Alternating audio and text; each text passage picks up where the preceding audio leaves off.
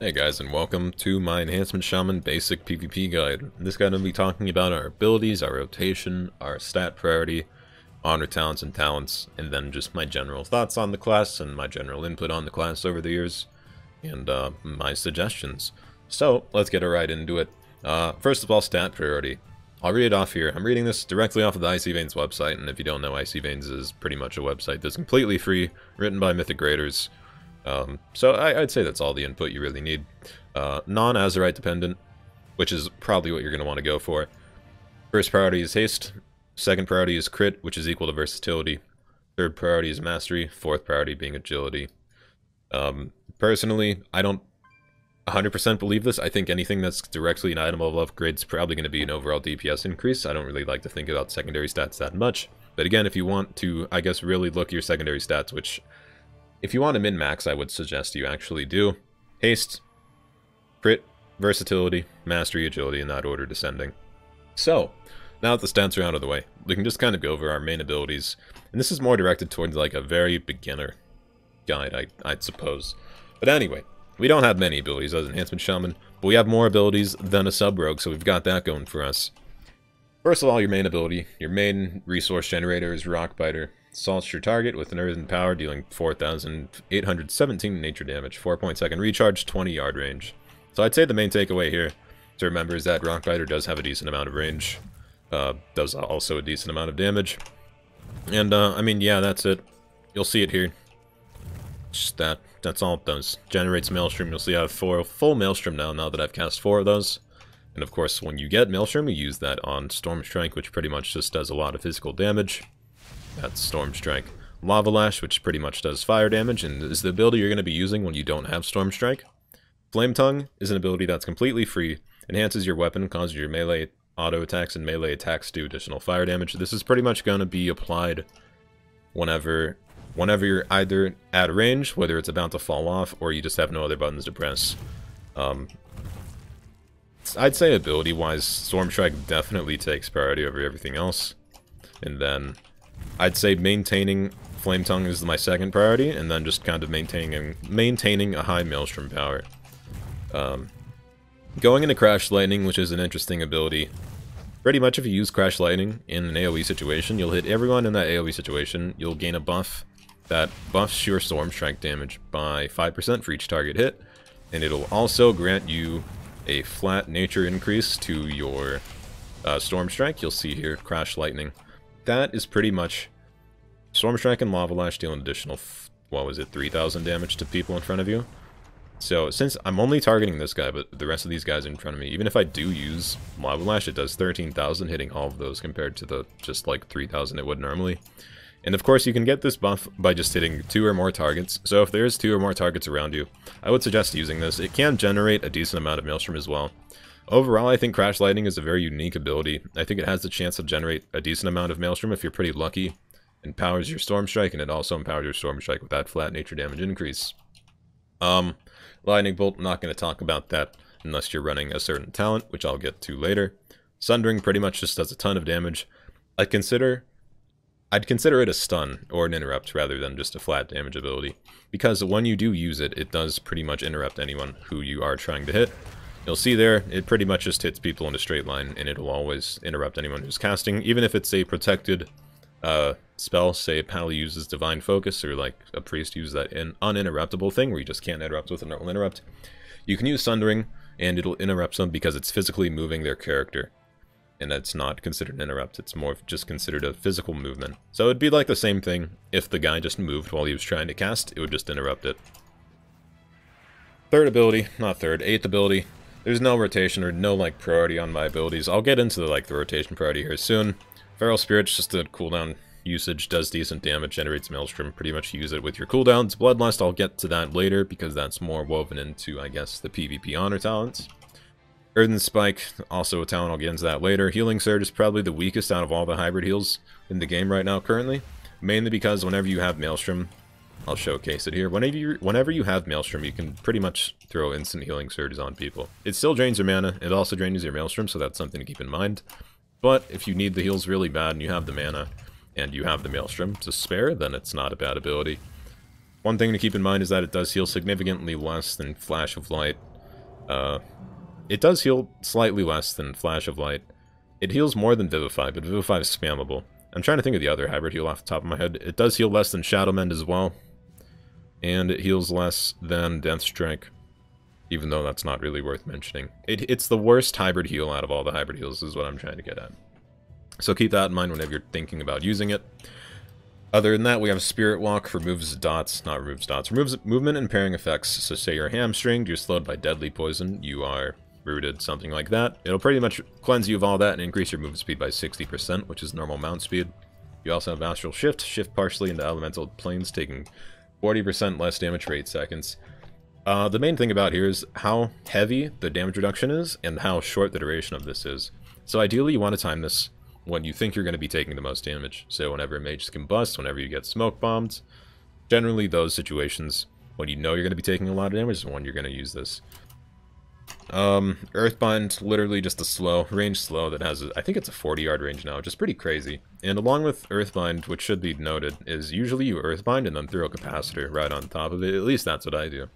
And Capacitor has the same range as uh, Earthbind, and it just stuns people in an AoE. I think at 8 yard range within 8 yards for 3 seconds, so it's just a stun. We also have Ghost Wolf, literally just a movement speed increase. Tremor Totem makes you immune to fears, charms, and sleep effects. Really useful. Recently got introduced, I think, two patches ago. So it's good to see that back.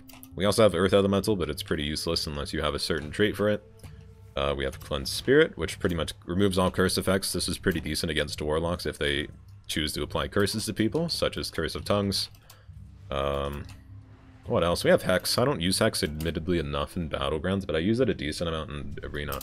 Pretty much it's like a Polymorph, which with a lesser range, but that's it. It's just like a Polymorph with a 30 second cooldown with a lesser range. Uh, one thing to note is that it doesn't regenerate people's mana or health like a Polymorph does, but it will it will take a little bit of damage before breaking, but if you take enough damage, it will break just like a polymorph. But it is a little more durable.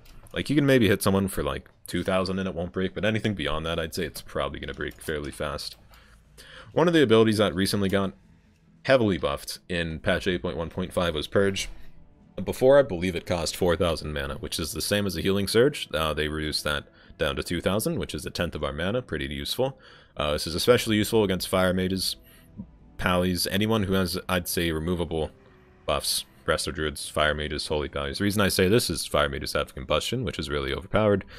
Resto Druids have Rejuvenation and all their heals over time, which are buffs that can, be dispelled through Purge.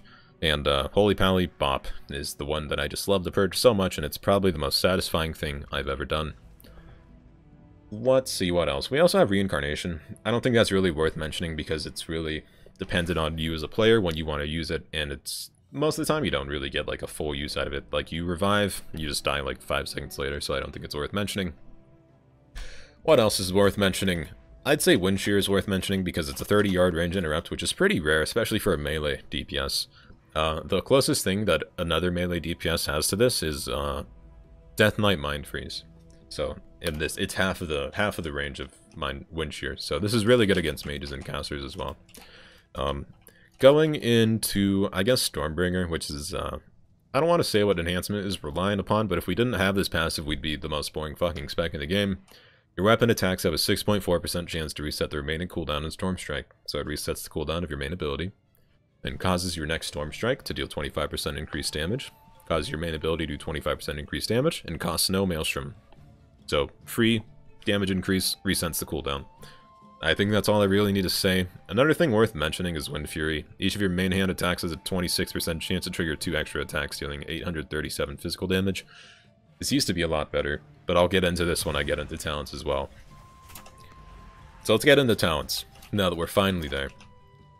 For the top row, I'd stick with Boulder Fist every time. Reduces the reduces the cooldown, increases the damage. That's all I really need to know. If you're not going to take Boulder Fist, I'd suggest taking... I don't know, I think both of these are equally shit, so... You can try Hot Hand. I don't think Hot Hand procs enough. I think they probably halves the proc chance of what it was in Legion.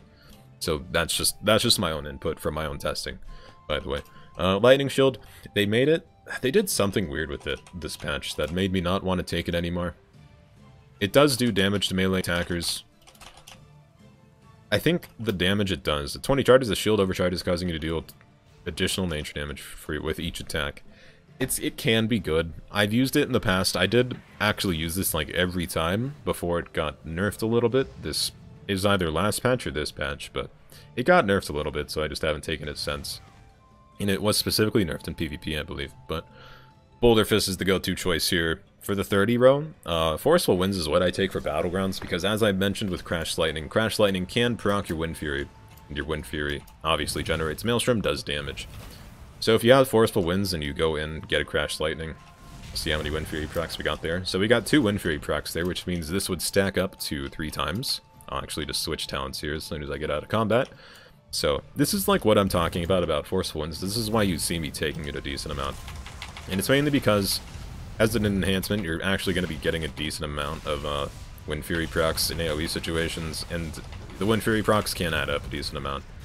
Uh, you'll see here, didn't really get too lucky, but if there's big AoE groups, you can Crash Lightning and get a decent amount of Storm, not Storm Strike, Wind Fury procs.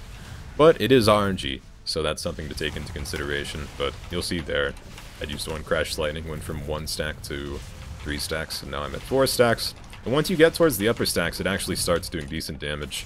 Now you'll see there, two of my hits hit for... One hit of Wind Fury at high stacks hits for about 4,000.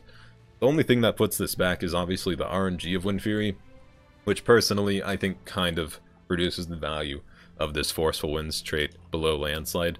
Uh, every time take Landslide for the most part, especially with the Rockbiter talent. With the reduced cooldown of Rockbiter with Boulder Fist and Landslide, it just synergizes really well. Rockbiter has a 40% chance to increase the damage of your next Storm Strike by 100%.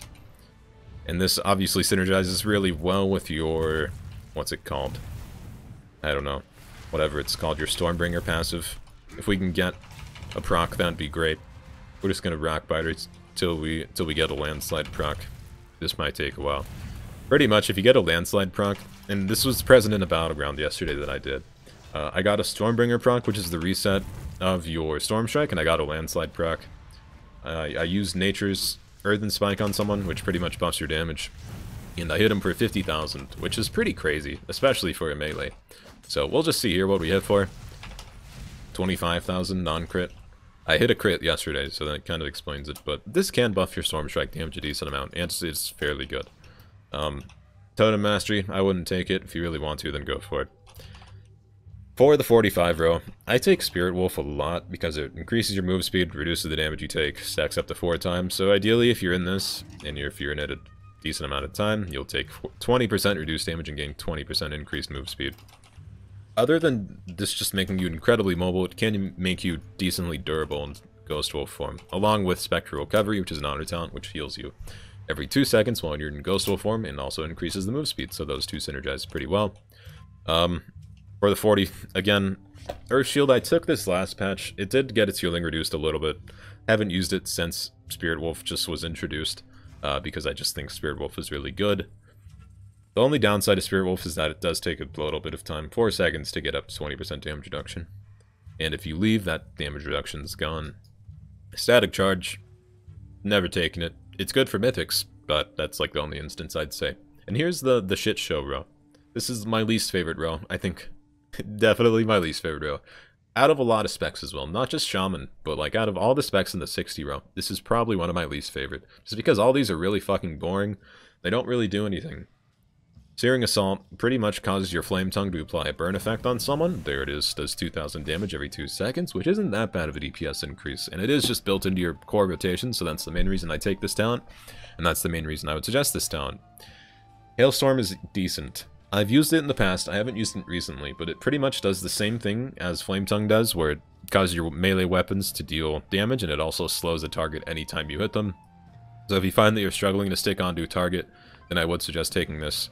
It'll probably have decent slash competitive DPS with Searing Assault, but I think the downfall of it is having to apply Frostbrand, which does cause Maelstrom, and then having to stick on that target. And keeping track of another buff is way more troublesome than you'd think it is. So that's the main reason I stick with Searing Assault, but if you need the slow slash damage from Hailstorm, then go ahead and take it. If you're going insta melee or a caster that you just think you'll never be able to hit, Overcharge would not be a bad choice. I've taken it in the past, however, it's pretty disappointing these days because it doesn't hit nearly as hard as it should. You'll see here, uh, 40, Maelstrom, it buffs the damage by 12,000. Hits for 11,000, which is pretty weak. I mean, it's not bad, but, you know, Storm Strike hits for 11,000. Just non-buffed, 8,000, sorry. And then buffed it hits for 21,000. And then, I don't know. It's not bad if you're going against a caster that you think you just can't hit. Any other situation, I really wouldn't take this though, and I'd just stick with Searing Assault. With a 75 row, most of the time I run Nature's Guardian, just because it heals you. There's really no other explanation behind that. The other choice here is Feral Lunge, which, again, pretty good for casters. If you think you can't hit them, lunge at your enemy as a Ghost Wolf, Spooky Wolf, biting them and deal pretty much... The tooltip's useless. It's a gap closer. It's like a Harpoon or a Shadow Step or anything like that. It's just a gap closer. The other choice here is Windrush. Never used it. Could be good. Two minute cooldown though. Maybe if it had a one minute cooldown, I'd take, consider taking it. But until that happens, I'm never taking that talent. For the 90 row, Sundering, you, you really don't take any other choice here. Crashing Storm, shit, Fury of Air. I've taken it in the past. It does, uh, it does drain your Maelstrom consistently. One Maelstrom, three Maelstrom, sorry, plus three per second. So, does just drain your Maelstrom constantly. So if you're having Maelstrom generation problems, I just really wouldn't take that, and I'd stick with Sundering. And of course, Sundering interrupts people, does tons of damage. That's all I need to say.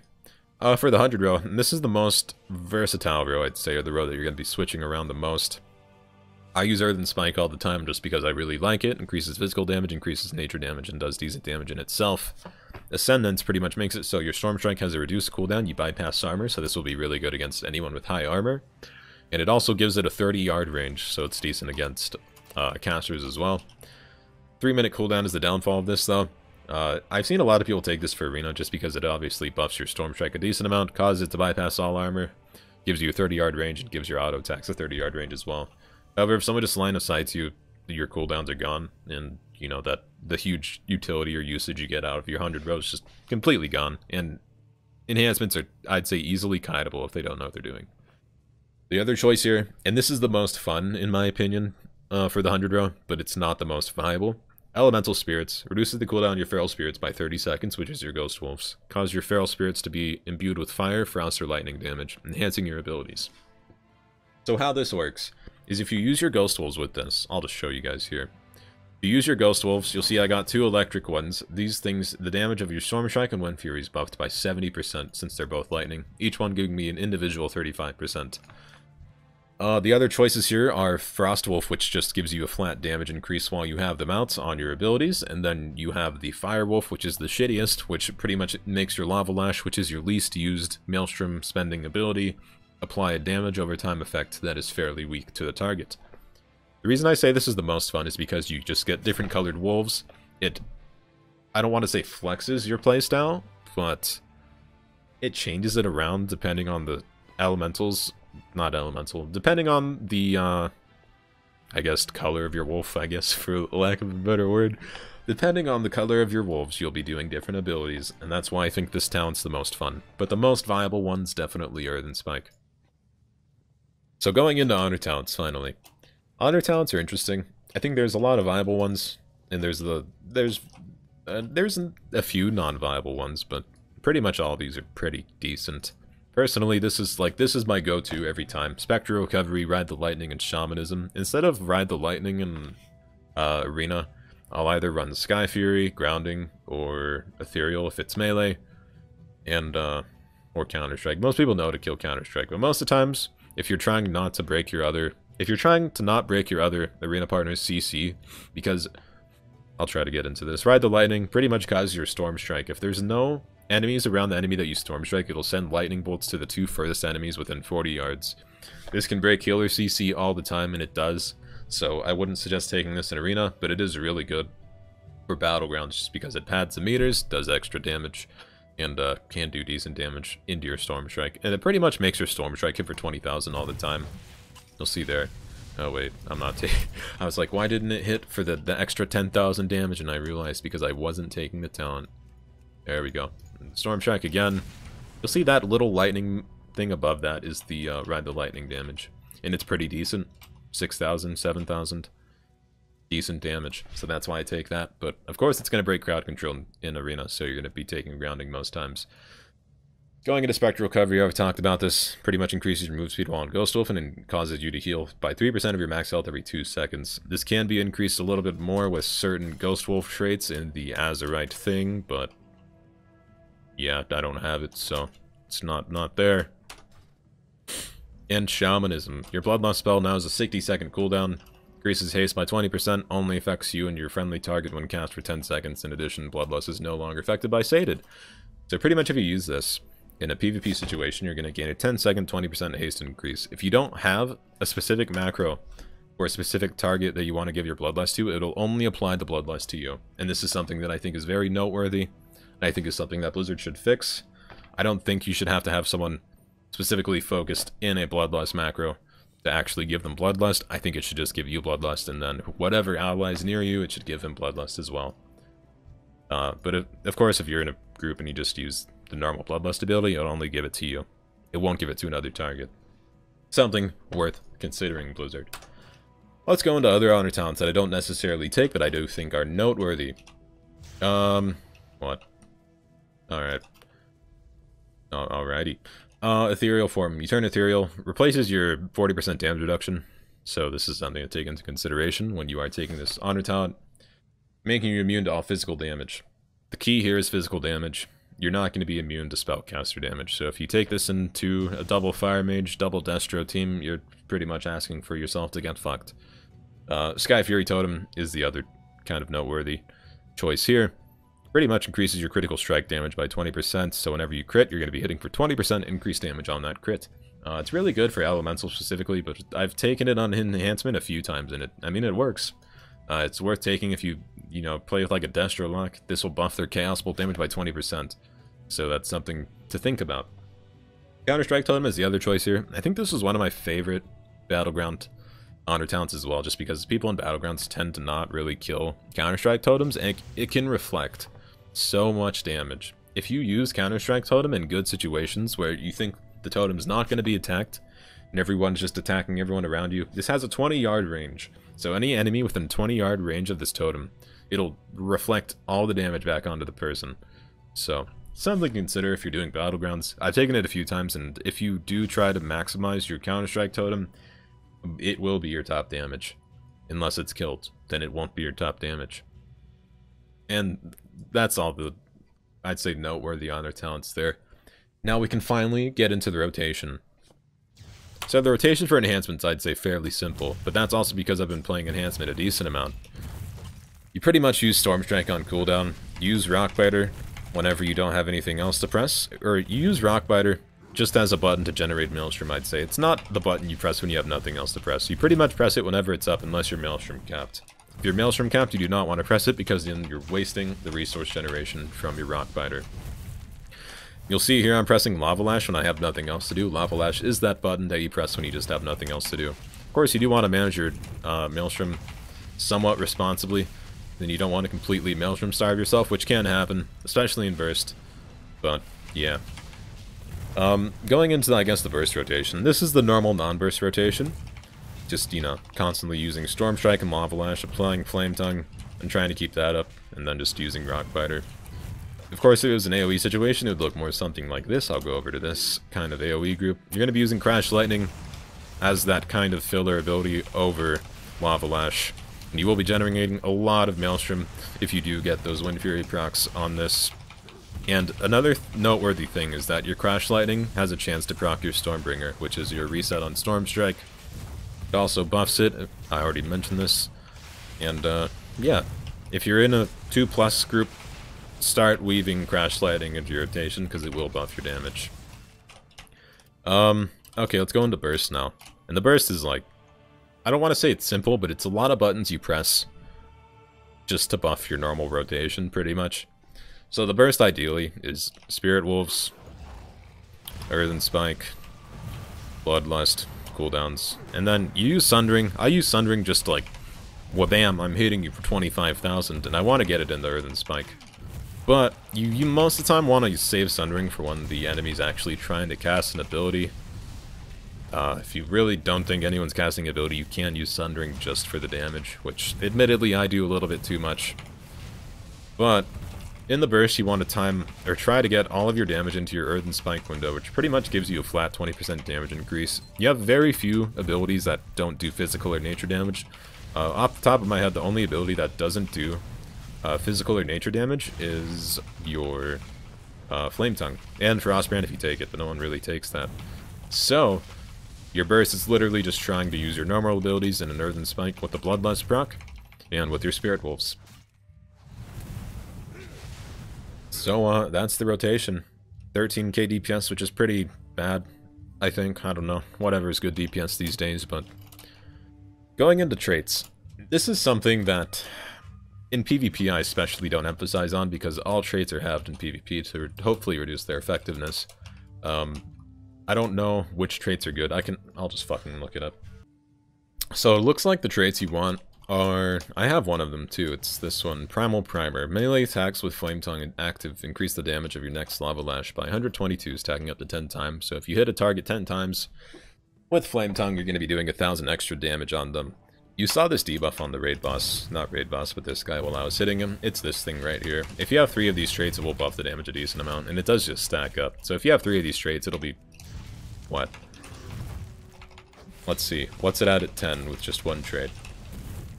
Come on. I don't want to flame. Nine. One more. There we go. Okay, so with three of these traits, I'd be hitting for about 3,000 extra damage. Halved in PvP, that's about 1,500 extra damage. Which is why I don't really like emphasizing traits, because if you really think about it, any trait that's really halved is going to lose a lot of its effectiveness. Ideally, there's really not a whole lot of difference in traits. It's something you'd probably have to research on your own, depending on the Azerite armor that you do get. Uh, personally, I just don't give a shit about traits. I just take whichever one looks the best.